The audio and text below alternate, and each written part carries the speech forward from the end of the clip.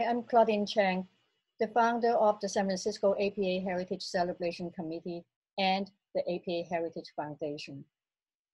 Every year, the month of May is nationally celebrated as Asian Pacific American Heritage Month. For the past 15 years here in San Francisco, we have a tradition of kicking off the celebration with the APA Heritage Awards event, followed by a festive reception at City Hall. This year, because of the pandemic, this and all the other arts and cultural events in the city cannot take place as usual because we must shelter in and be safe. However, the recognition and celebration of APA Heritage Month must continue. And why?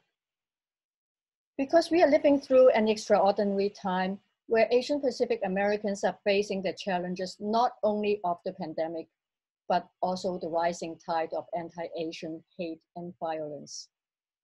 APA Heritage Month gives us a unique and timely opportunity for this diverse community to come together, to connect, to share stories, and to be proud of who we are.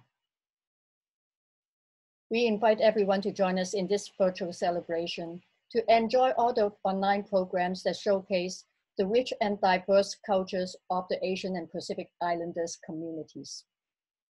On behalf of the Heritage Celebration Committee, I would like to thank all the sponsors, celebration partners, and committee members for making this virtual celebration a reality. Last but not least, we are so, so proud to have over 100 publicity partners. And they are the city and state officials, community nonprofits, and media organizations for coming together to promote awareness of APA Heritage Month and to share information about the programs. This is truly a celebration by the community and for the community.